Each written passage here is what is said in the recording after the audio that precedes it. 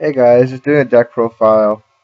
TGs, one Redox, two Dark Black Dragons, two White Dragons, Bear, triple Rush Rhino, triple TG Werewolf, Warwolf, whatever, three Striker, and three Effect Veiler, one Allure Darkness, one Reinforcement, one Dark Hole, two Pot Dualities, triple Tanky, double Raigeki Break, Bottomless, Beer Force, Torrential, Double Trap Stun, Double Dimensional Prison, Double TG1, one Compulse, two Skill Drain.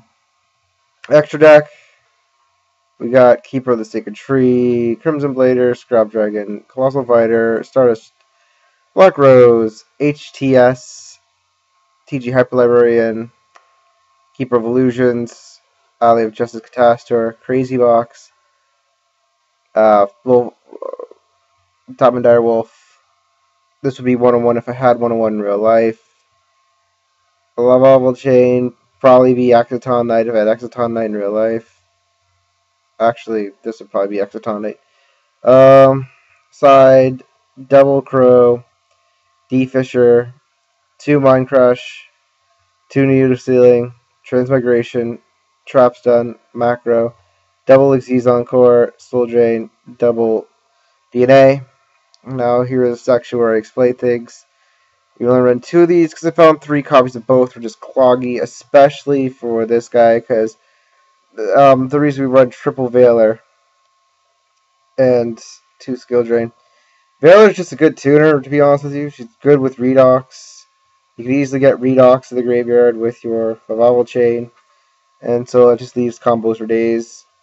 Also, these two will replace themselves if you synchro with them.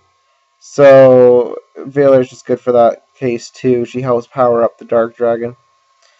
Uh, Allure of Darkness is really good in this deck because we have three darks, five darks, and then you search one of your three werewolves.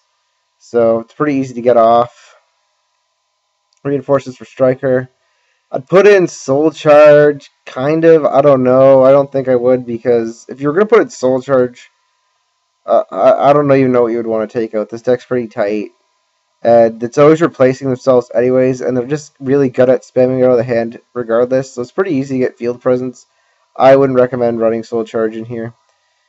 Uh, just to go over some other things. Really don't really make this that often, but, you know, whatever.